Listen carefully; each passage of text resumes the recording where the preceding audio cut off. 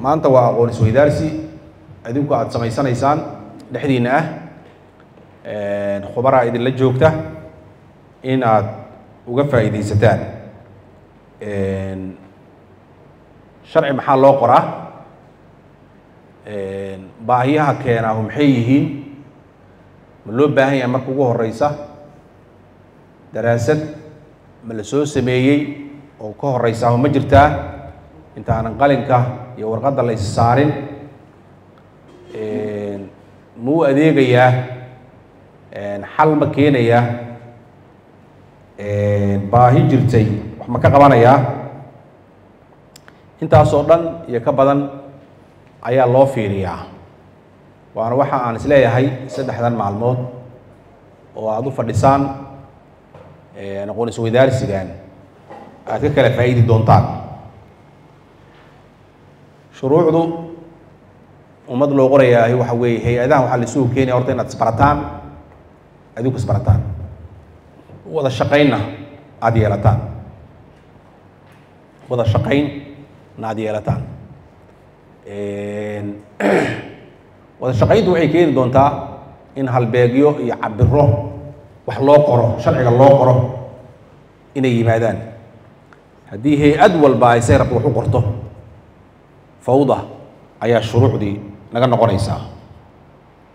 Marka aqoon isweydaarsigaasu maanta aan u fadhinaahu wuxuu ka jawaabayaa in shuruucdeennu ay mataqaanaa munadam tahay oo nidaamsan tahay. Oo nidaamsan tahay ayuu ka jawaabayaa.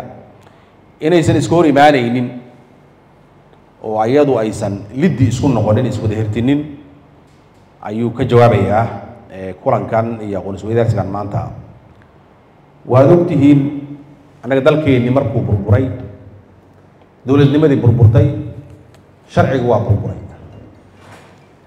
Sharciga markuu burburay sharcigaas burbursan ayaa wax lagu dul dhisayey muddo dheer. Ayaa lagu dul dhisayey waxay keenaysaa markaa jahawareer ayay keenaysaa.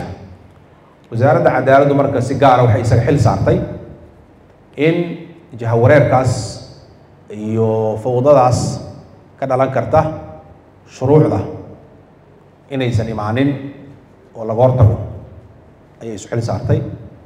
Marka waxaan rajaynayaa saddexdan maalmood runtii inaad ka faa'iidaystaan ujeeddadii laga lahaana oo ahayd inaad wada shaqaysaan waa hay'adihii habraaca isla fahamsan tihiin eray bixinta qaanuuniga ah oo sidee loo qoraa qoraalka? Ilaa sharci qorisaan ka hadlaynaa. Sidee loo qoraa sharciyada? Aad kala faa'iidaysataan. Oo aada dhexdiinii aqoon isweydaarsigaas aada samaysataan. Waxaad ogtihiin annaga shuruucdeennu laga soo bilaabay ilaa iyo isticmaarkii ayay socotaa. Dhibaato ayadaa isugu filan mararka qaarkiis. Marka waxay u baahan tahay in la nidaamiyo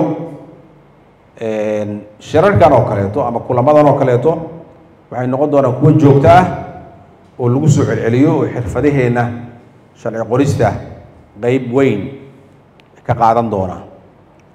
Maadaama sharci qoristu saan sheegna u xil saaran tahay dowladdu xil saaran tahay waa inaan iska xil saarnaa inaan sharciga aan qorayno oon soo saaraynaahu inuu ka jawaabayo baahiyahaas inuusan abuureynin mushkilooyin cusub. Adinkuna waxaad tihiin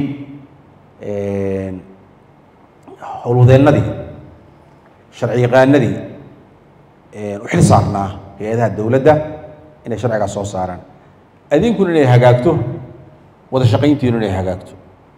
Oo nidaamyada iyo halbeegyada aad ku wada shaqaysaanu ay hagaagaan marka waxaan rajaynayaa saddexdaan maalmood markay idin dhammaato idinkoo wax badan ka qaatay oo wax badan kala faa'iiday inay inay soo kordhi doonto oo aan isugu nimaano insha allahu tacaala markaan is xirayno idinkoo ka jawaabi kara su'aalo badan oo nagu taagnaa.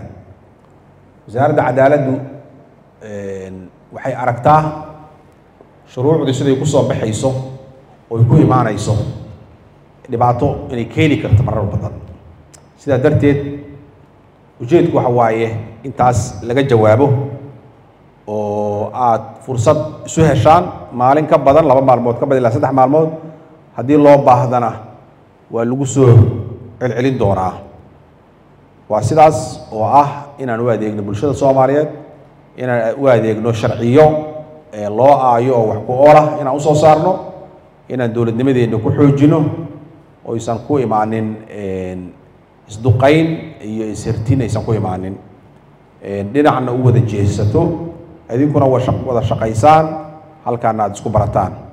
Intaas ayaan maanta inkugu furayaa. Guulna waa idiin rajeynaya waa mahadsantii asalaamu calaykum waraxmat ullahi